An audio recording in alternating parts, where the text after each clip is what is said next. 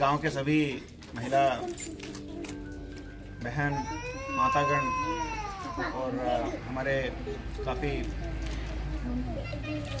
मेहनती महिला पदाधिकारीगण यहाँ के सी डी पी ओ और जिला से आए हुए पदाधिकारी D P R O madam सभी को मैं बधाई देना चाहता हूँ। काफ़ी अच्छा व्यवस्था आपने किया और काफ़ी अच्छा प्रेम दिखाए तो मैं उम्मीद करूँगा कि जिस उद्देश्य के साथ हम लोग आज का कार्यक्रम शुरू कर रहे हैं। 22 मार्च तक इसी तरह चलेगा।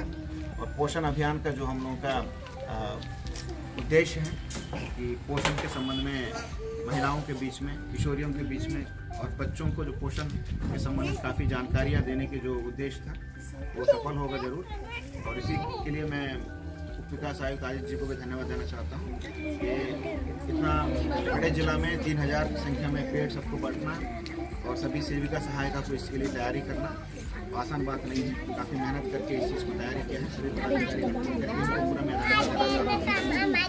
सभी इसी उद्देश्य के साथ सभी को एक और बार अंतर्राष्ट्रीय महिला दिवस का शुभकामनाएँ